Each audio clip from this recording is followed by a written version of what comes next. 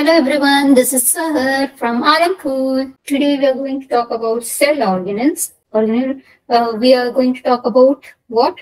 Plasma membrane. Okay. Now, this is also known as cell membrane. Here is the structure of plasma membrane. The plasma membrane is made up of phospholipid bilayer. Okay. This here, this, okay. This part is head, hydrophilic head. That means this part loves water, philic. And here we have tail. This is tail. This is, this is hydrophobic. That means this tail are afraid of water.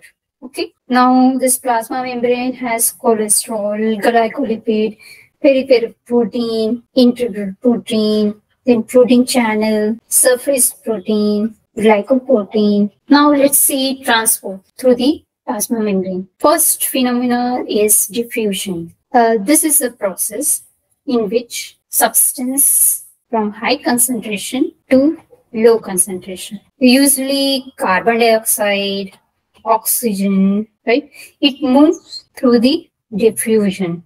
It get it gets inside the cell by diffusion. Next is osmosis. This is movement of solvent, it's water, from high concentration to low concentration through semi-permeable membrane. Now there are two types of osmosis.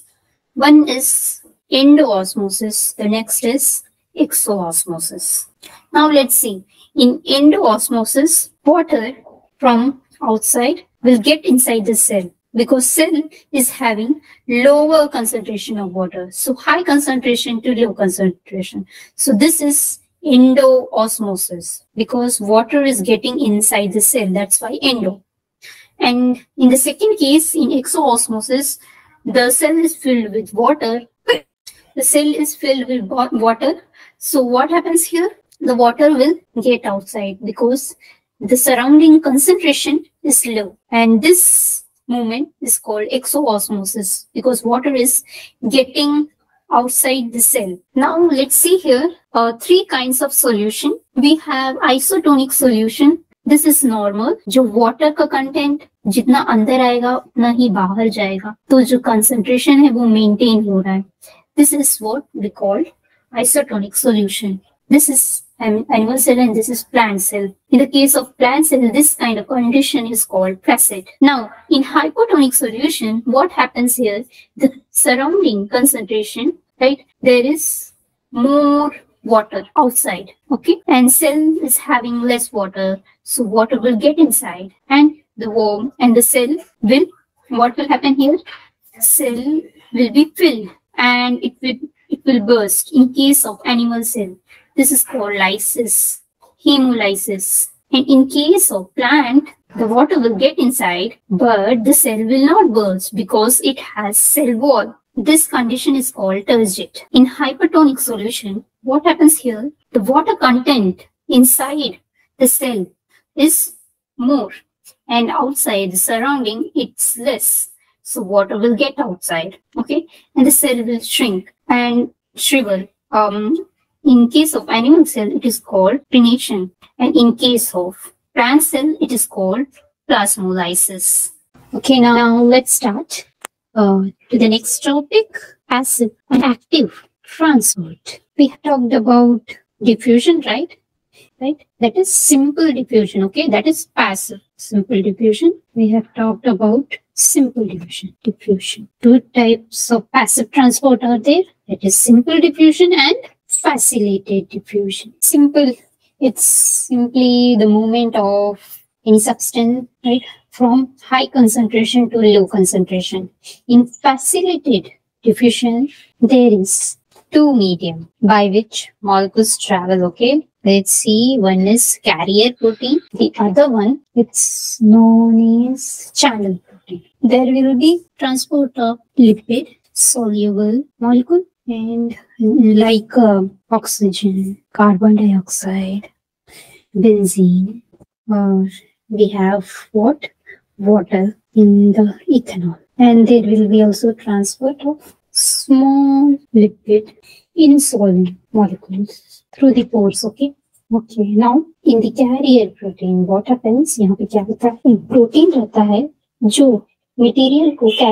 है कोई कोई ऐसा material होता है जो plasma membrane उसको अंदर नहीं आने देता है okay so they require carrier protein like glucose carrier protein will be like this suppose okay and here is this is our plasma membrane okay lipid bilayer now this is carrier protein suppose this is the glucose molecule now let's copy this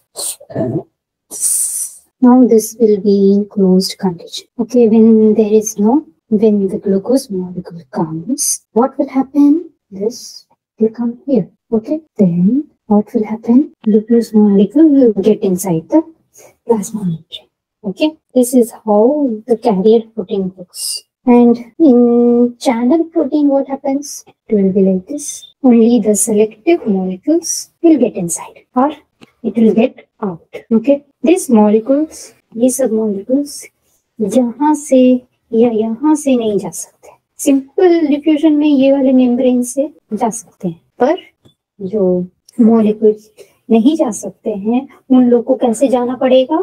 career protein या channel protein के through next we have active transport active transport में क्या होता है? Molecule will move from low concentration to high concentration how with the help of energy in the form of क्या हो सकता है एटीपी हो सकता है now let's see different types of types of membranes first one impermeable membrane in this case let me write the four kinds first then we'll see it one by one permeable membrane semi permeable membrane last one selectively permeable. Okay now in impermeable membrane this will not allow any movement of substance like what? Solvent and solute. It will not pass through this membrane. Solvent or solute it will not pass.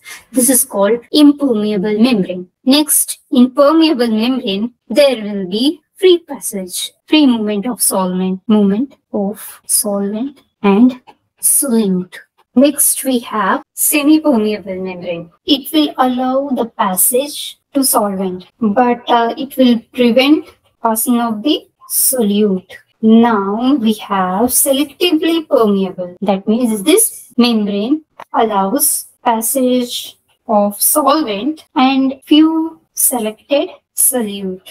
Okay then, that's all. Bye bye. See you in the next video. Don't forget to like, subscribe and share. Bye bye.